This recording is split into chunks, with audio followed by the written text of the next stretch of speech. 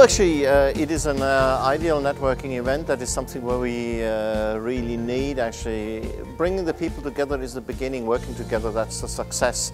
And this uh, is a high quality of paper, and uh, I'm really love to be here and uh, networking with the people. So I got another, a number of new people which I have not known before, and we hopefully will lace very, very well in the near future.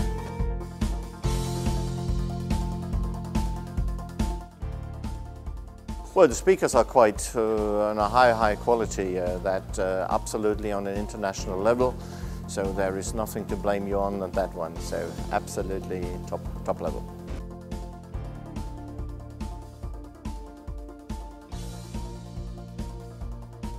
I think the most important thing in such events is the networking actually, actually knowing all the others. So the, the speeches that come, they are actually the teasers. They are the ones who send, shape the mindset there. Uh, it was not set up as an educational event, so actually you would not expect actually to go home uh, with, uh, with, a, with, a, brainwashed view.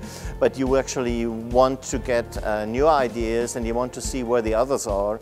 And uh, for, for me, uh, what a very positive effect is, a very positive um, um, experience is that uh, especially all the speakers and a lot of the, the attendees, the, the, the views, they converge, they align now which so the, the degree of dispute on digital transformation has gone. So we are going now, marching all in the direction and don't question the things as they are.